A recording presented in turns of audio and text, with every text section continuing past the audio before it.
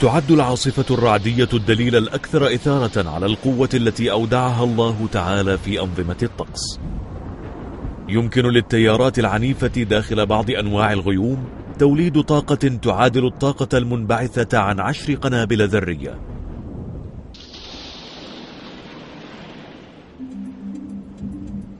تحدث العواصف الرعدية في غيوم طويلة وكثيفة تسمى الغيوم الركامية. تحتوي هذه الغيوم على بلايين الجسيمات التي تحملها التيارات الداخلية باتجاه الأعلى والأسفل. تتشكل بلورات جليدية في قاعدة الغيمة وتحمل إلى الأعلى. تهبط حبات البرد الأثقل التي تتشكل في الأعلى إلى الأسفل.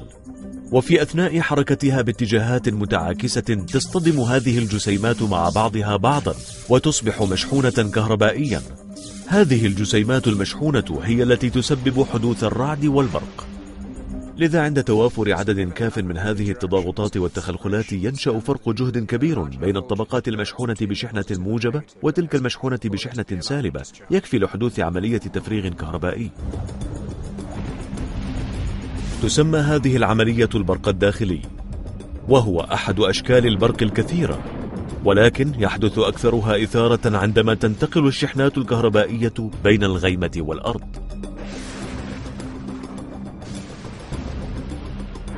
عندما تتجمع الشحنات الكهربائية السالبة عند قاع الغيمة فإنها تجذب الشحنات الكهربائية الموجبة المتجمعة على سطح الأرض تحتها. وعندما تكون الشحنات الكهربائية قوية بدرجة كافية تنتقل الطاقة الكهربائية من الغيمة إلى الأرض. وينتج عن ذلك وميض البرق المبهر. وتكون كمية الطاقة الهائلة فيه مذهلة. تكون كل حزمة من البرق أسخن من سطح الشمس. ترافق حدوث البرق حرارة ترفع من درجة حرارة البيئة المحيطة إلى 30 ألف درجة سلسيوس مما يؤدي إلى تمدد سريع للهواء يسبب صوت الرعد. وبما أن الضوء ينتقل بسرعة أكبر من الصوت فإننا نرى البرق غالبا قبل أن نسمع صوت الرعد. للبرق والرعد مظهر خلاب.